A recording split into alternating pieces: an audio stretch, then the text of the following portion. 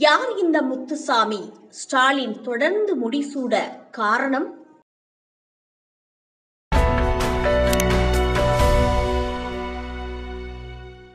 தமிழக வீட்டு வசதி வாரியத்துறையின் அமைச்சராக இருப்பவர் எஸ். முத்துசாமி.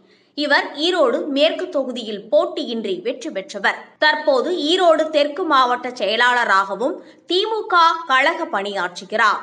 திமுக கழகத்துக்கு கட்டுப்பட்டும் தலைமைக்கு விசுவாசமாகவும் இருப்பவர் எஸ். முத்துச்சாமி இவர் தமது அரசியல் பயணத்தை அதிமுகவில் இருந்து தொடங்கியவர். அதிமுகவில் இருந்தபோது கொங்கு மண்டலத்தின் அதிமுக முகமாக திகழ்ந்தார். எம்ஜிஆரின் நம்பிக்கைக்குரிய செயல் வீரராக பணியாற்றினார். முதலில் அதிமுக சார்பில் ஈரோடு சட்டமன்ற தொகுதியில் போட்டியிட்டு கடந்த ஆயிரத்து தொள்ளாயிரத்து எழுபத்தி ஏழு ஆயிரத்து தொள்ளாயிரத்து எண்பது ஆயிரத்து தொள்ளாயிரத்து எண்பத்தி நான்காம் ஆண்டு நடந்த தேர்தல்களில் வெற்றி பெற்றவர். இவர் மறைந்த எம்ஜிஆரின் அமைச்சரவையில் எட்டு ஆண்டுகள் போக்குவரத்து அமைச்சராகவும் ஆயிரத்து தொள்ளாயிரத்து தொன்னூற்று ஓராம் ஆண்டு தேர்தலுக்கு பின் ஜெயலலிதா அமைச்சரவையில் சுகாதாரத்துறை அமைச்சராகவும் பணியாற்றியவர். பிறகு ஜெயலலிதாவுடன் ஏற்பட்ட கருத்து வேறுபாடு காரணமாக எஸ். முத்துசாமி கடந்த இரண்டாயிரத்தி பத்தாம் ஆண்டு திமுகவில் சேர்ந்தார். இவர் கட்சி மாறினாலும் அவரது சொந்த சமுதாயமான கொங்கு வெள்ளாளர் கவுண்டர் சமூக மக்களின் ஆதரவு அவருக்கு அப்படியே நீடிக்கிறது. சொந்த சமூகம் மட்டுமின்றி இதர சமூகத்தினருக்கும் இணக்கமானவராகவே அமைச்சர் முத்துசாமி உள்ளார்.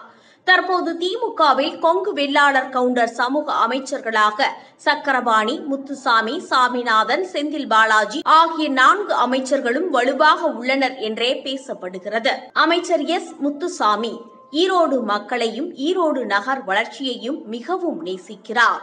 ஈரோட்டின் அடிப்படை உள்கட்டமைப்பு வசதிகள் பல்வேறு அளவில் செயல்படுத்தியவர். கொங்கு மண்டலத்தில் குறிப்பிடத்தக்க அளவிற்கு போக்குவரத்து துறையை செம்மைப்படுத்தினார். கடந்த சட்டசபை தேர்தலின் போது ஈரோடு மாவட்டத்திற்கு உட்பட்ட மொடக்குறிச்சி தொகுதியில் போட்டியிட்ட திமுக துணை பொதுச் செயலாளராக இருந்த சுப்புலட்சுமி ஜெகதீசன் தோல்வியடைந்தார். இங்கு பாஜக வேட்பாளராக முதல் முறையாக களமிறங்கிய சுப்புலட்சுமி ஜெகதீசனை தோற்கடித்தவர் டாக்டர் சரஸ்வதி. இதனால் பெரும் ஏமாற்றம் அடைந்த சுப்புலட்சுமி ஜெகதீசன் தமது தோல்விக்கு சொந்த கட்சியினர்தான் காரணம். அவர்கள் முழு ஒத்துழைப்பு வழங்கவில்லை என்று குற்றம் சாட்டினார். அமைச்சர் முத்துசாமி மற்றும் சில கட்சி நிர்வாகிகள் மீதும் அவர் கட்சி தலைமையிடம் புகார் அளித்தார்.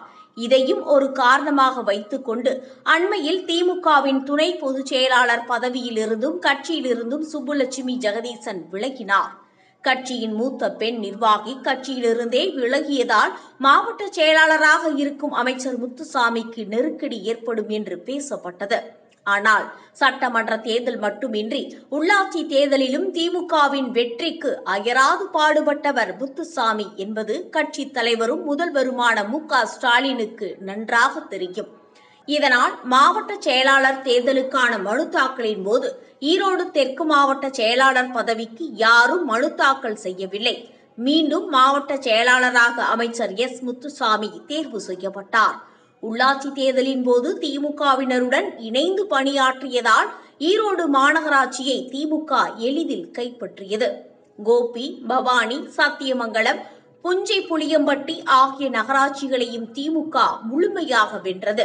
மொத்தமுள்ள நாற்பத்தி இரண்டு பேரூராட்சிகளில் நாற்பது இடங்களில் திமுக வென்றது.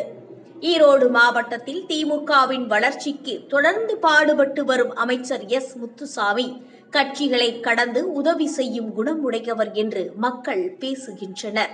கொங்கு வெள்ளாளர் கவுண்டர் சமூகத்தை சேர்ந்தவராக இருந்தாலும் சாதி மத வேறுபாடுகள் இன்றி பழகும் தன்மை கொண்டவர். எளிதில் அவரை சந்தித்து குறைகளை தெரிவிக்கலாம் என்று ஈரோடு மக்கள் தெரிவிக்கின்றனர்.